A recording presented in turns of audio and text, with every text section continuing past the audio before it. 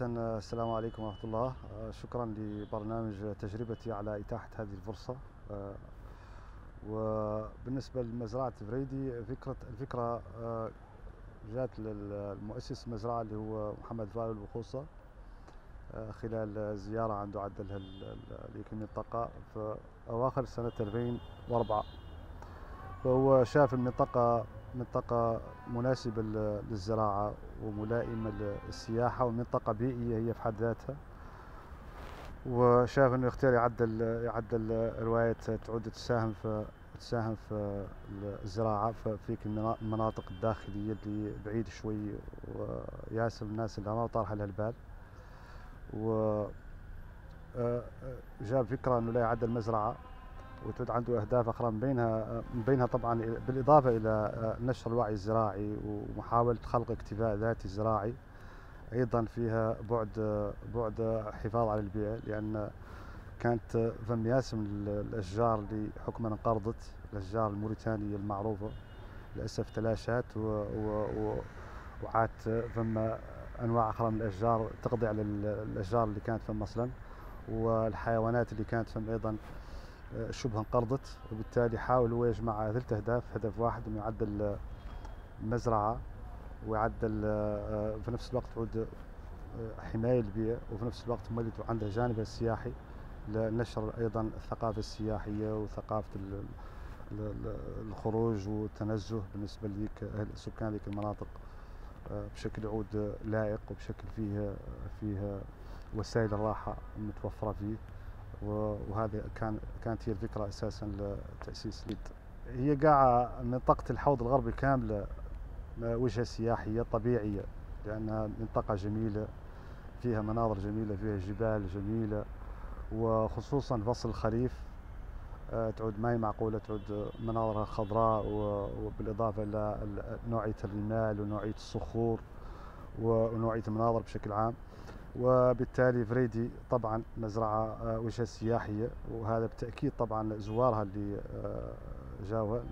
لأن إحنا في البداية آه، كنا معدينها أوان كنا معدين قبال في الزراعة. الناس اللي جاتنا وعاد تفرض علينا أن نستقبلوها. فم ويظلوا في ذيك الأماكن وعاد بدأت بشكل محلي. لكن عقب ذلك الحمد لله عاد تجي الناس من جميع أطراف الوطن وحتى من خارج الوطن عاد تجينا الناس. وبالتالي أكيد هذا لا الشيء جايبهم ذاك اللي شافوا أكيد وجهه سياحيه وأكيد فيها عاد متوفره فيها وسائل الراحة للناس اللي تبحث عن السياحة وتبحث عن المتعة وتبحث عن المناظر الخلابة الجميلة وعن النقاء الطبيعي والمناظر الجميلة. الإقبال طبعا موسمي لأن السياحة في المناطق الداخل هي أساسا في الخريف وبنسبة أقل أقل كثيرا في الشتاء والصيف شبه تقريبا تعود شبه معدومة نتيجة لأن أكثرية الناس فهمت تهاجر للأسف. آه، عن ذيك المناطق وتبقى لها الناس اللي لا بد لها من تبقى آه، معناها إنه آه، الموسم الأكثر يعني رواج دائما هو موسم الخريف والشتاء. أيضا بدأت الناس من السنوات الأخيرة عاد في سواح يجوا في الشتاء خاصة يختاروا عن فصل الخريف وإن شاء الله مع إن شاء الله التقدم في في في تخلق وعي أكثر لأن السياحة في بالعالم السياحة الشتوية أفضل أحيانا قاعد تعود أفضل من السياحة الخريفيه لكن النمط التقليدي عندنا إحنا الموريتانيين السياحة لا في لا في الخريف ولكن ذاك إن شاء الله آه، بادئ يتغير. بالنسبة لتأسيس البنى التحتية للمزرعه والمنتزه طبعا هذا مجهود شخصي. وتم على امتداد سنوات طويلة. كل سنة نجو مرة نجهروا نجهروا نعدلوا بئر ارتوازية ونعدلوا بزرها مرفق سياحي كي نقولوا له نحن الهيه البيرية. وتجي السنة أخرى نعدلوا نعدلوا جونجيتين الله ثلاثة ونحفروا بئر أخرى. تجي سنة أخرى نجيبوا شمن تناقل مرة مشهور أدرار مرة مشهور العيون ومرة مشهور كيفة. وتجي سنه أخرى نجيبوا نزيدوا في المرافق السياحية. وهكذا كل كل سنة.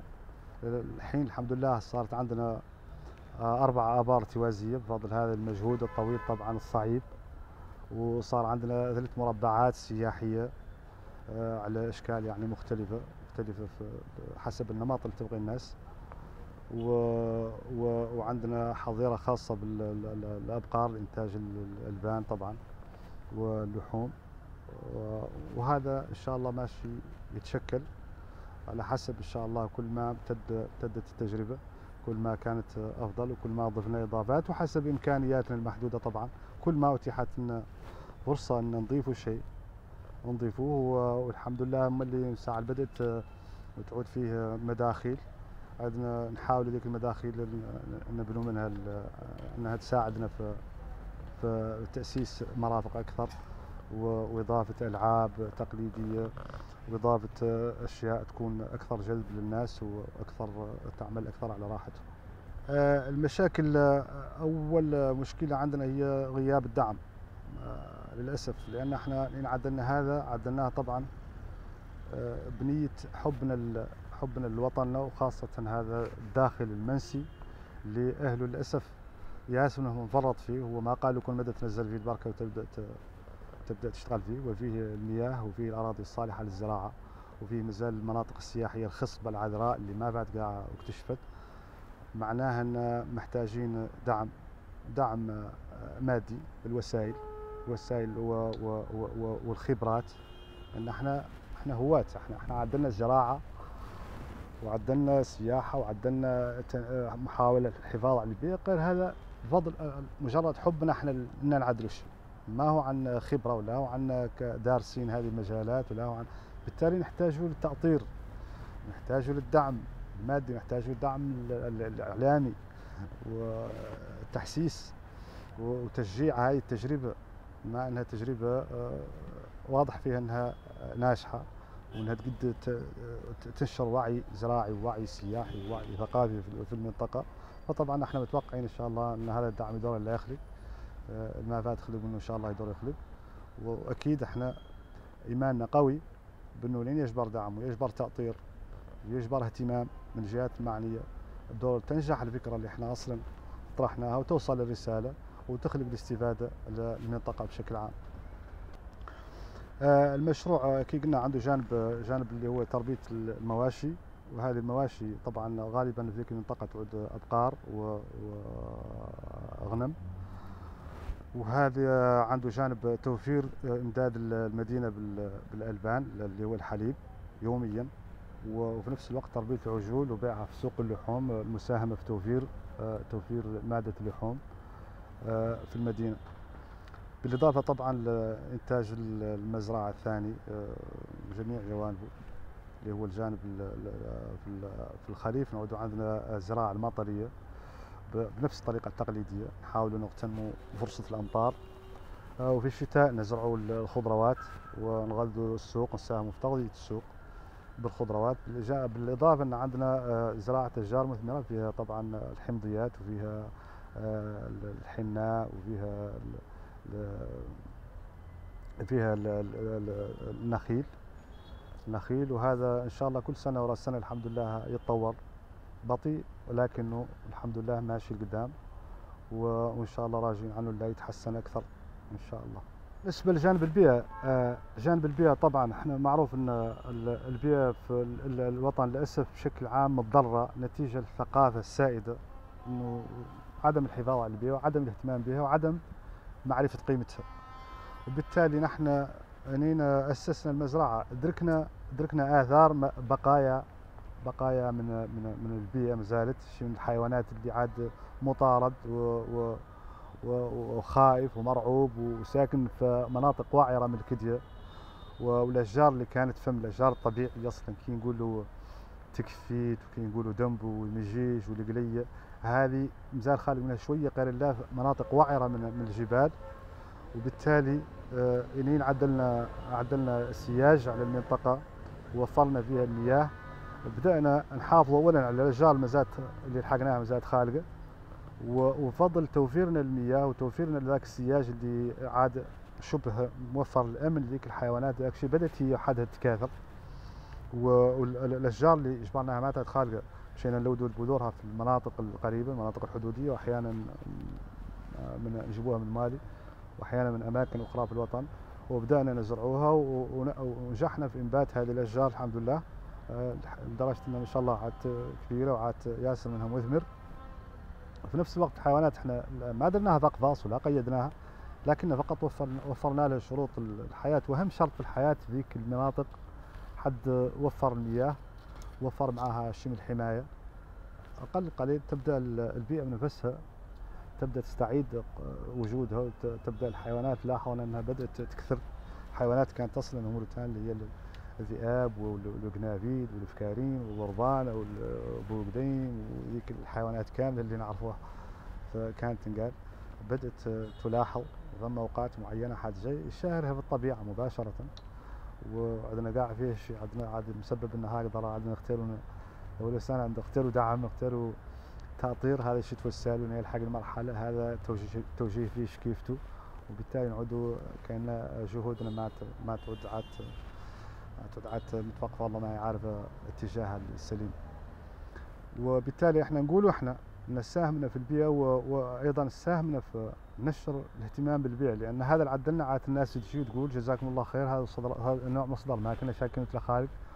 وهذا النوع من النبات آه، كنا شاكين قرض وكذا وبدأت الناس فعلا تجينا تقدر شتلات هاي الاشجار وتمشي تزرعهم في مثلا شجرة التيدوم اللي ذيك المنطقة حكما انقرضت فيها.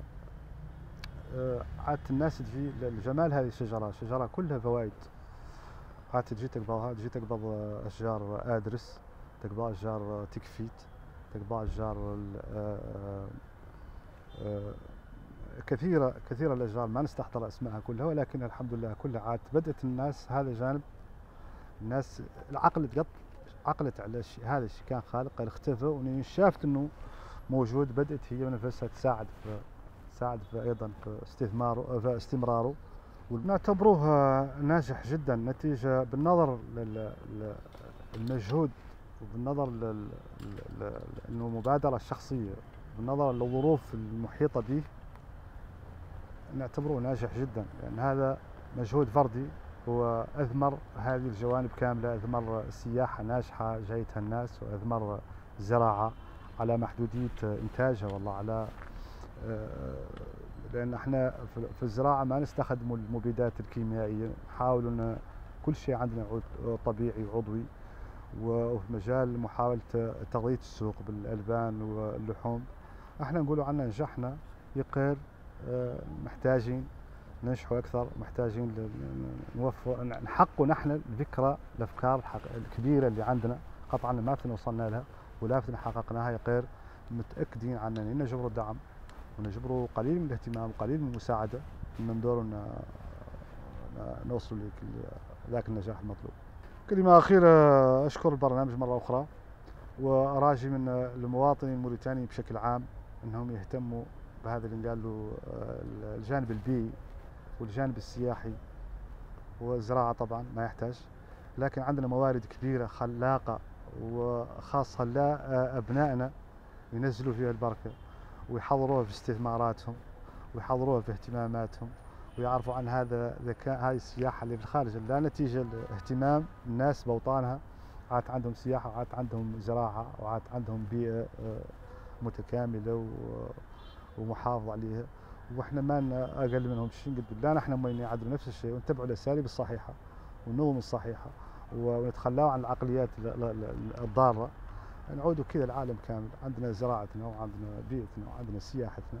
وهذا ما هو قالبنا. وراجي إن شاء الله آه، إن الناس كاملة تهتم بهذه المجالات. وراجي التوفيق لنا ولجميع الناس إن شاء الله.